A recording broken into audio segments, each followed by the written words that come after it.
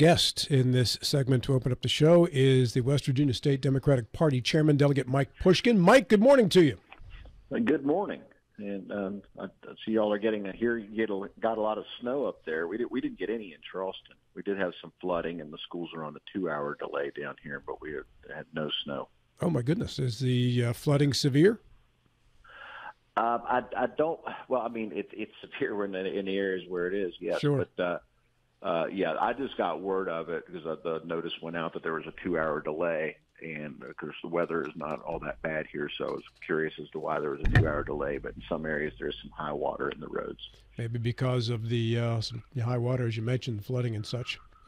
Well, most of our guests today will be by phone uh, because of the weather we've got uh, here in the Panhandle. So you'll be fitting right in uh, nicely with your phone call here this morning, sir. Yeah, otherwise, I would have you know driven right up there, but I saw the weather reports. So I decided to stay in Charleston and call you. This is sweet little 11-hour turnaround back and forth, not a problem. Yeah, yeah, yeah no problem.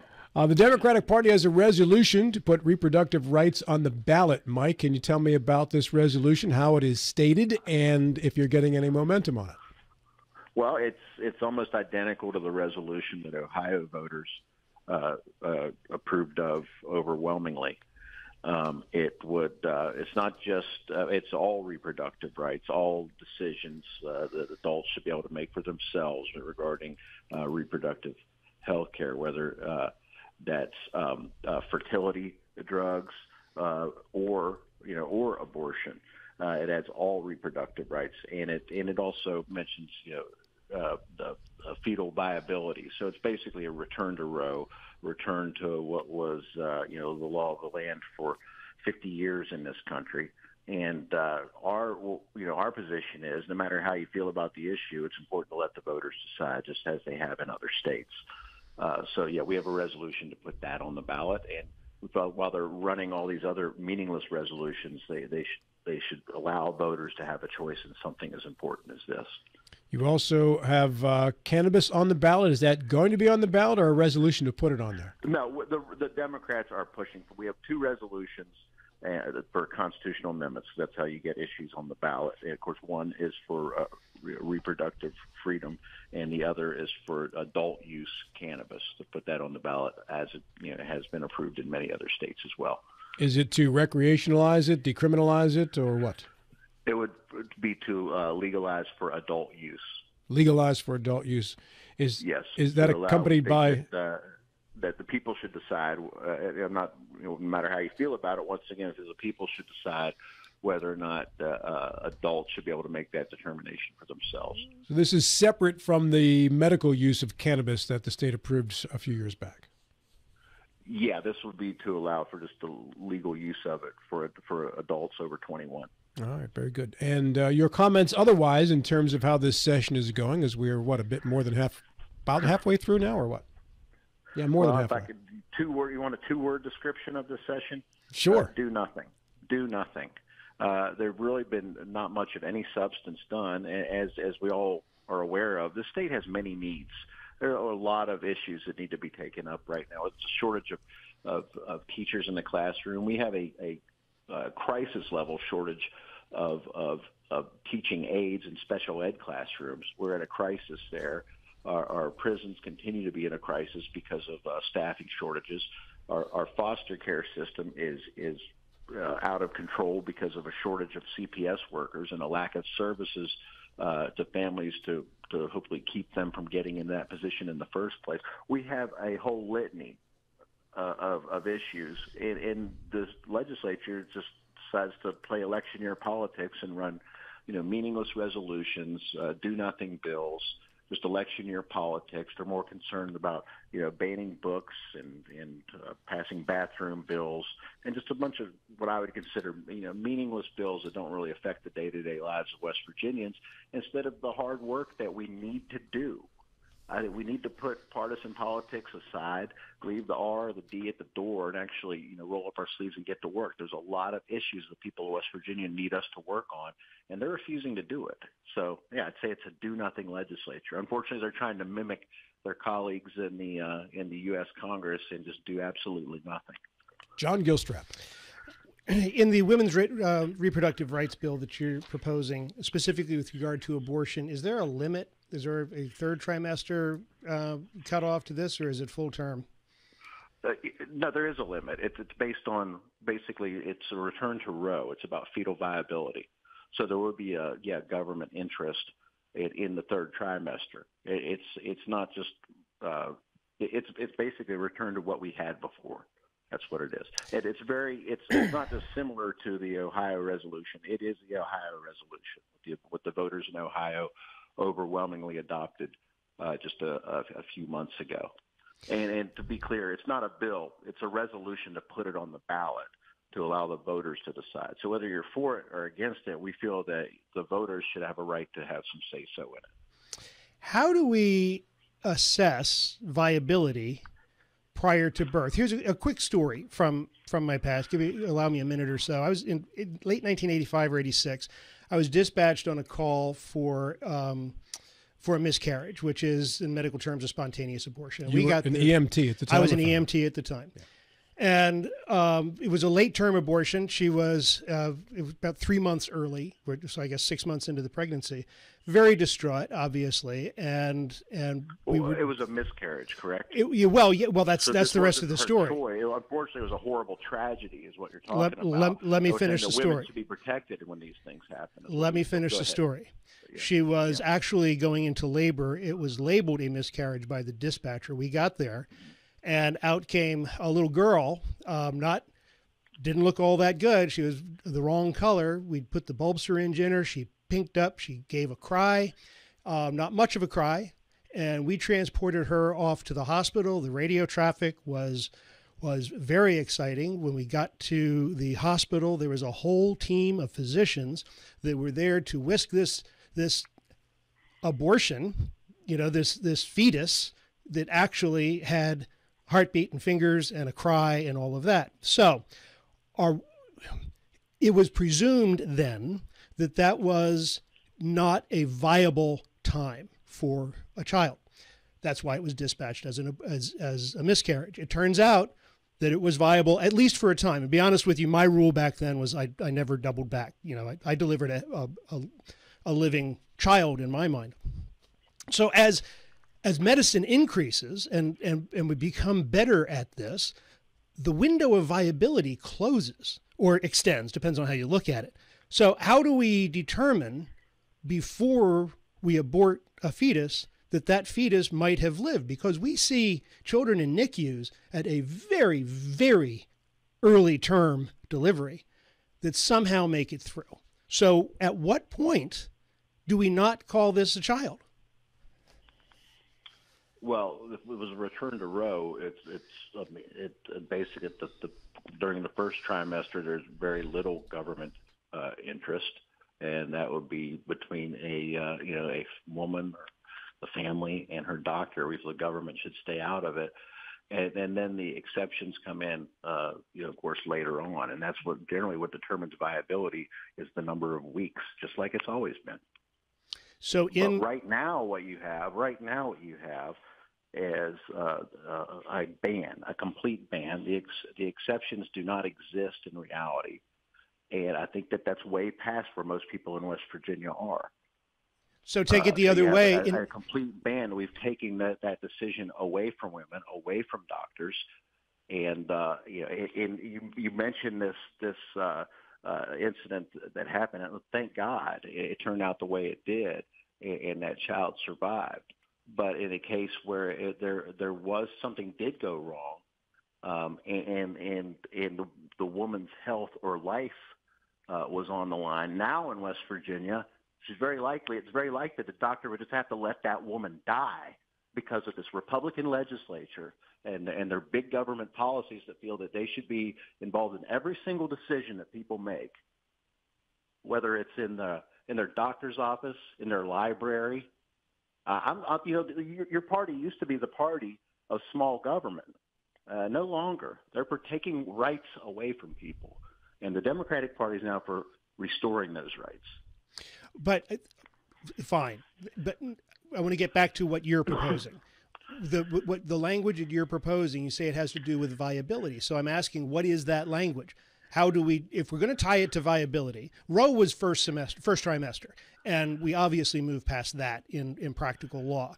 So, are you suggesting that that the West Virginia voters vote on legalizing abortion only in the first trimester? with exceptions and later on, of course, to protect the the life and the and the health of the mother, or in instances of uh, protecting victims of rape and incest. We feel that's where most people in West Virginia are, and we would like uh, to prove that's where most people in West Virginia are by allowing them to vote on it. Now, sir, if you're against it, we'd like for you to have the right to vote against it. What we don't feel is that Republican lawmakers, which are uh, overwhelmingly uh, old men uh, should be making these decisions for young women. John Bodwell. Mike, uh, let me ask you this. You were talking about the fact that we have a you know shortage of teachers, shortage of you know caseworkers for foster care and stuff like that. So I guess you and the Democratic Party are going to come out in favor of locality pay. So the areas of the state where it costs three hundred thousand dollars for a house and the people can't afford to live here with any of those jobs can live and you know we can have caseworkers for our um, for our foster kids. We can have teachers. So, are you prepared to say the Democratic Party is ready to support locality pay in the areas that are? The that Democratic ha- Party is prepared to support the pay raise, at least the pay raise that the governor proposed.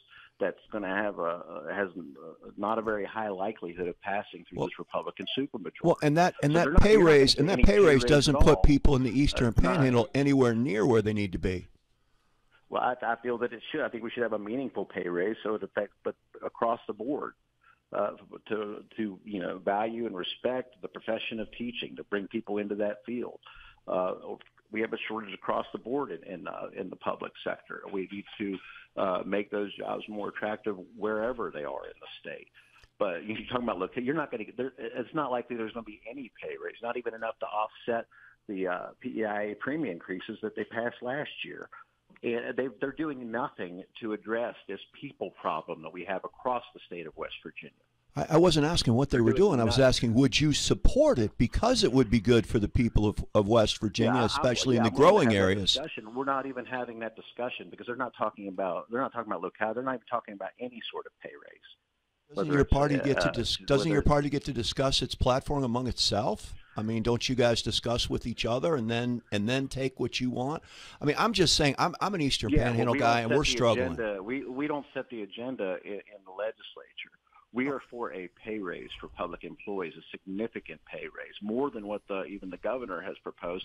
But what the even the feeble pay raise that the governor proposed, it barely, if it if it even does offset the PEIA PEIA increases, that's not likely to pass because the Republicans in this legislature, I often say, they know the cost of everything, but they know the value of nothing. They don't value the profession of teaching. They don't value uh, the government's role in doing the very least it can do, and that's protecting children who are in state's custody. So you can talk about you know all these issues. They're not taking them up. They're doing nothing. The state is in a crisis and you have a governor and a, and a Republican legislature bragging about flat budgets and talking about this rocket ship ride that never got off the launch pad. So if, if we're doing so well, let's fund the basic services of government to take care of people who have no ability to take care of themselves, children in foster care, people with disabilities. You know, what about our public retirees who haven't seen a cost of living adjustment in years? Let's address these issues. So you can talk about all the hypotheticals you want, but we're in session right now. We could actually do some things to help West Virginians. Uh, instead, uh, they're choosing to do nothing.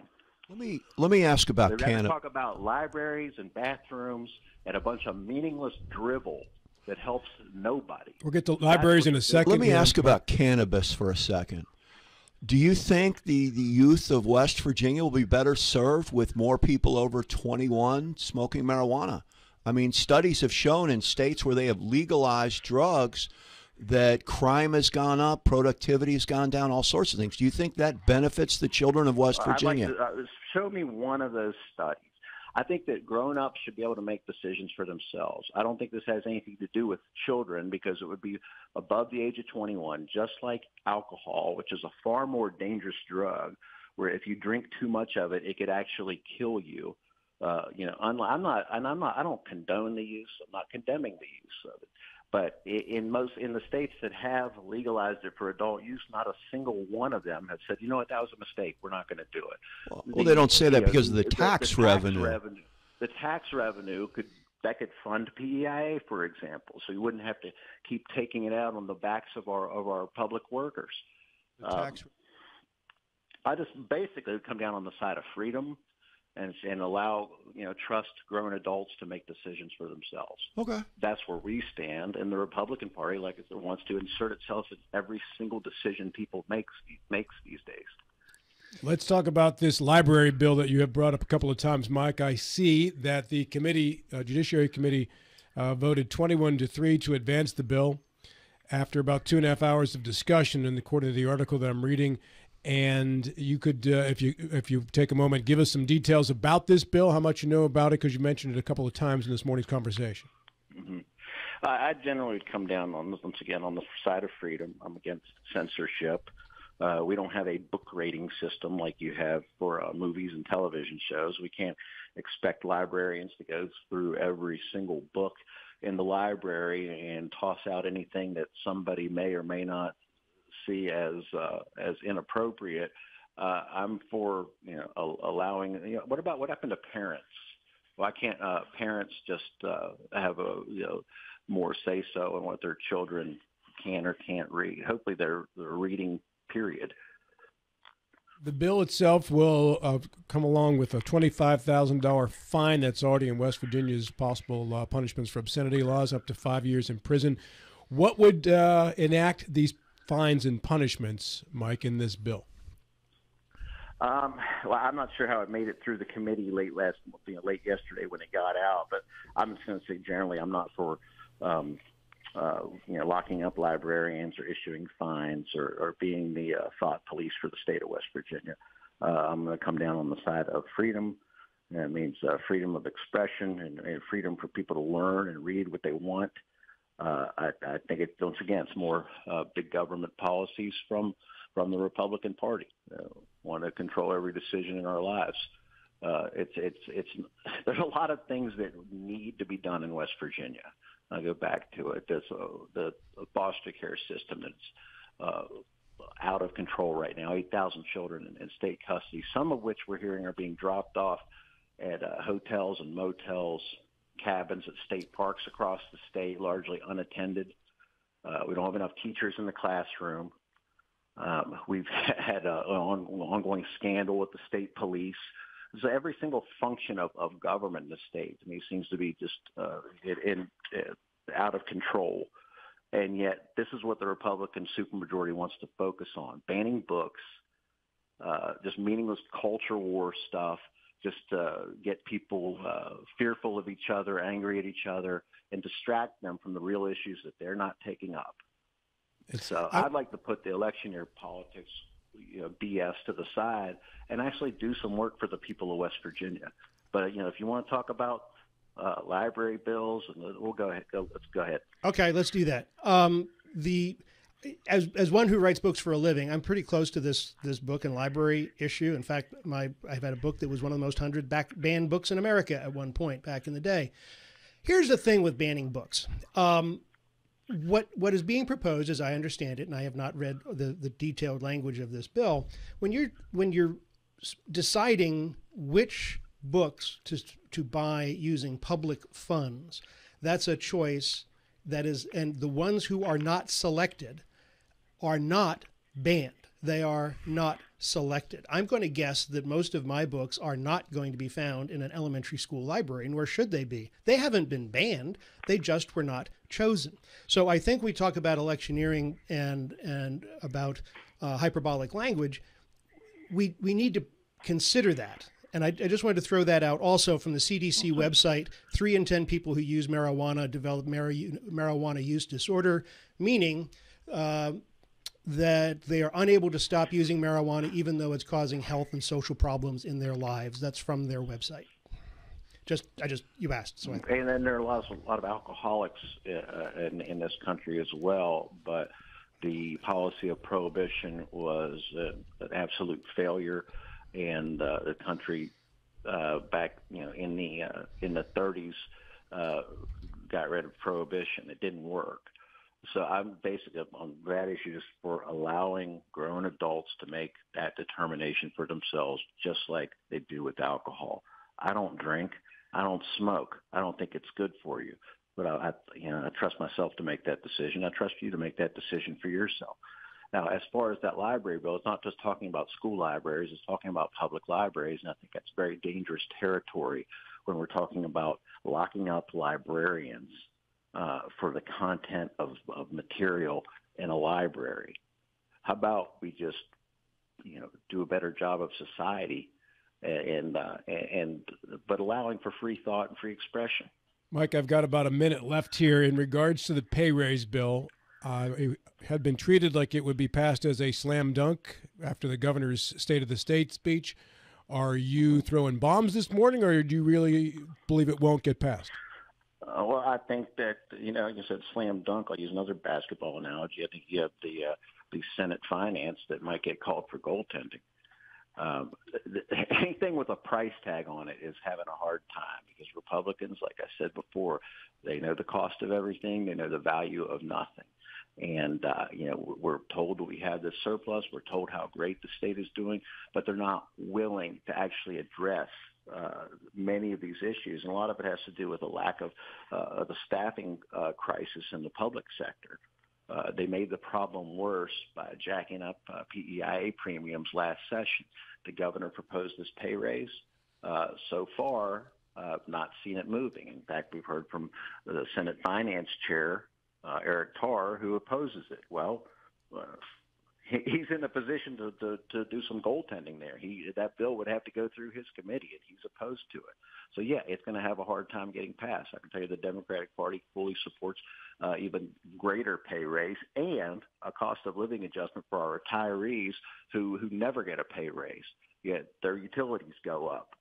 Uh, the cost of living goes up for them, and we're not taking care of them. We need to take care of those who have taken care of us. It's only fair. Mike, thank you for your time this morning. As always, appreciate it. Hey, thanks for having me on. Have a good day. Hope you don't get the snow. You too. You too.